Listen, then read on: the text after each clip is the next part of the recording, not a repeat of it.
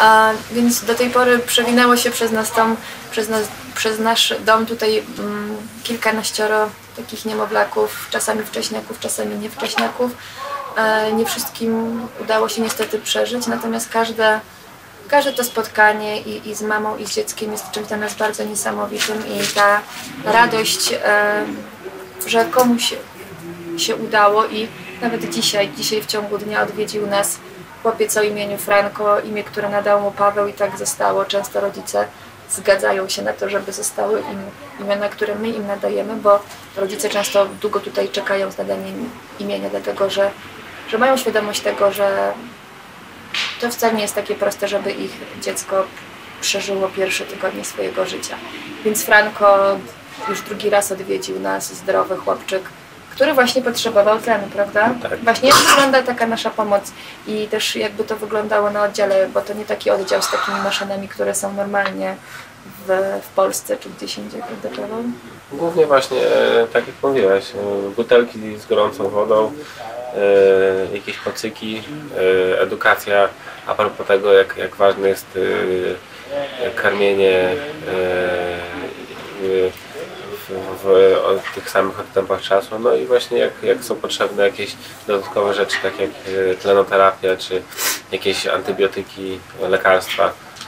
No i edukacja, tak jak e, nam się wydaje, że to jest chyba najważniejsze, bo to też bardzo widać, jak e, te mamy widząc, że jest nadzieja dla ich dzieci, bardzo szybko to łapią i Uczą się też uczą się bardzo. bardzo dużo, chcą się uczyć i jakby widać, że to przekazują później jedne drugim. To jest chyba najważniejsze. No i te jeszcze pompy do, do odciągania mleka właśnie. Jak, jeśli dzieci są za słabe, żeby ciągnąć y, mleko prosto z piersi mamy, no to y, czy butelkami, czy właśnie sodami y, próbujemy to właśnie robić przez te pierwsze, Tak, te pierwsze sądy- dni tygodnie i to jakoś Sądy to też jest tutaj duży problem, bo założenie sądy tutaj często ludziom kojarzy się z tym, że to już jest jakaś ostateczna, no ostateczność. bo często tak i- było.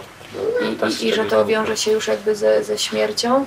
Natomiast tutaj mieliśmy już kilka właśnie naszych dzieciaczków, które najpierw miały założoną tą sondę.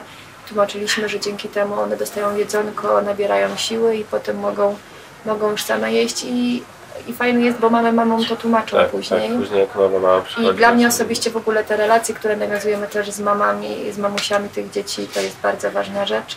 I tak naprawdę parę dni temu przenieśliśmy się do pomieszczenia, przenieśliśmy się, ponieważ już troszeczkę albo i bardzo byliśmy zmęczeni natężeniem tego wszystkiego, co działo się w naszym domu, takim małym szpitalem.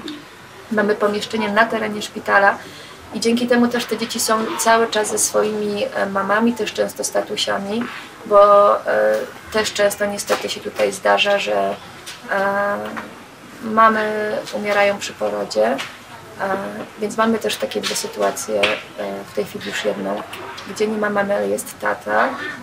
Mm, Też staramy się wtedy pomóc.